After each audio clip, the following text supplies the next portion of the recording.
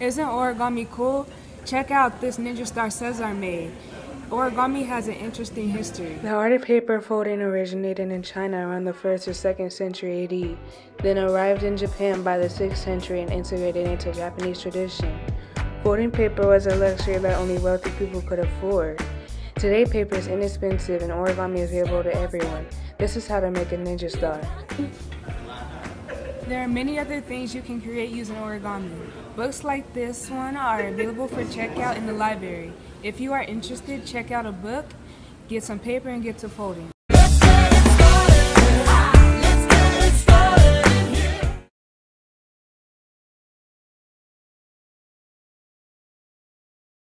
Hamburger or chicken wings? Hamburgers. Christmas or Thanksgiving? Christmas. Crinkle fries or waffle fries? Waffle fries. Football or volleyball? Football, you only need to ask the rest. Nike or Adidas? Nike.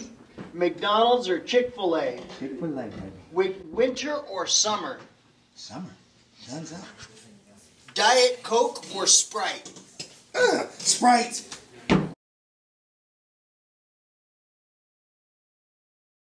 Hamburgers or Christmas? Ooh, Christmas. Waffle fries or football? Football. Nike or Chick-fil-A? Nike. Summer or Sprite? Summer. You do without the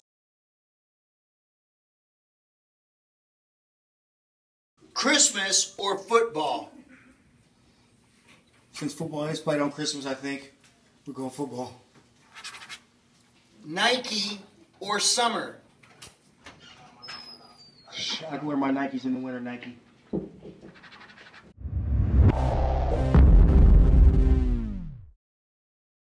Football or Nike? Um, football. Oh, I had to think long about that one.